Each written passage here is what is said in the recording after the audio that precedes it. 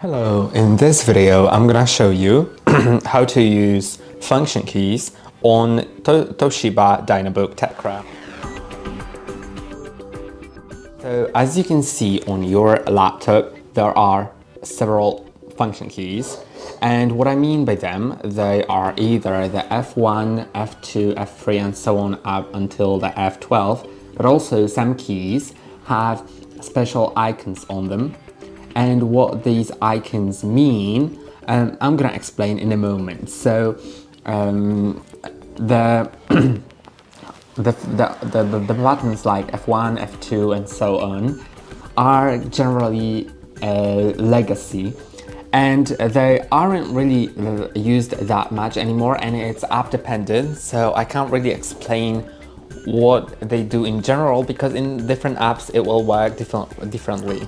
I know for sure that in most of the apps the F1 key will open help. So if I open like the Microsoft Edge, the F1 will open help. The F11 in most browsers puts them on full screen. The F12 opens developer tools in browsers as well.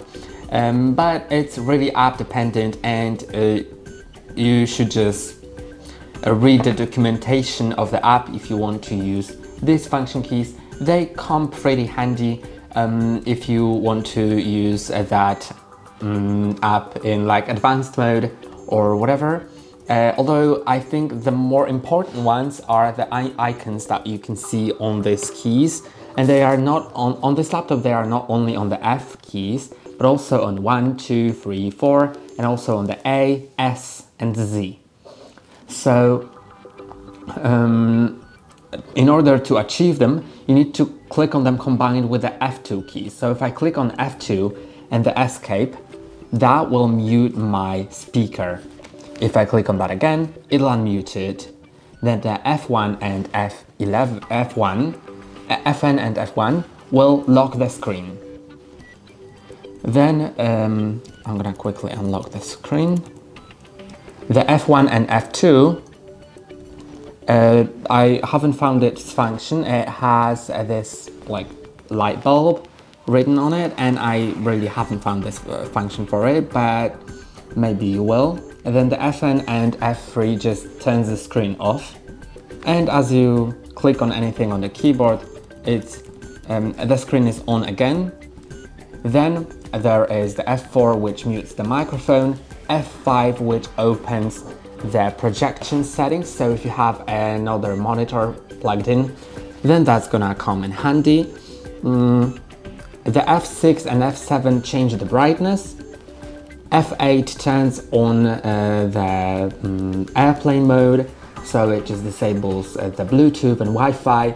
Mm, so your laptop is good to, mm, so your laptop can be used on airplanes. Then the Fn and F9 will toggle the touchpad off or on. Then here you can see the print screen and SysRq. So if you click on Fn and print screen, it'll do a SysRq, but honestly it just didn't do anything in my case. Uh, but uh, with the insert or scroll lock then for, for sure the Fn with scroll lock will turn on the scroll lock. Mm. then there are also buttons uh, here but they you can see there's like one and, and below it but these aren't achieved with Fn. Instead you need to turn off the numlock and now they will work as the, what's written on the bottom of them if you click on the num lock again, the numbers will be active. Uh, now uh, there's also the Fn and F and uh, number one.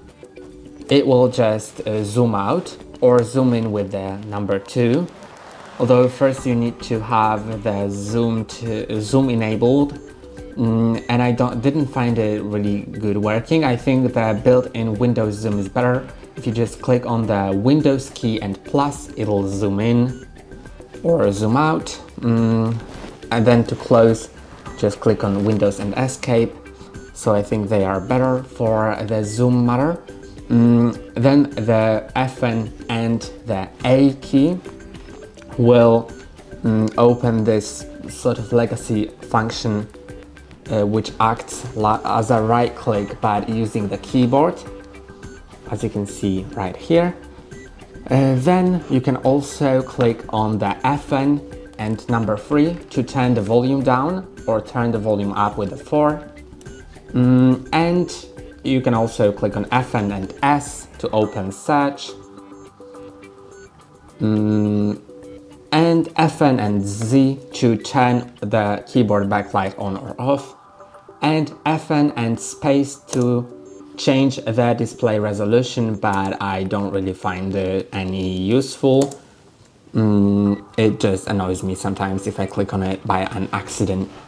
And these are all of the function keys on your laptop. That's all for today. Don't forget to like and subscribe. See you next time.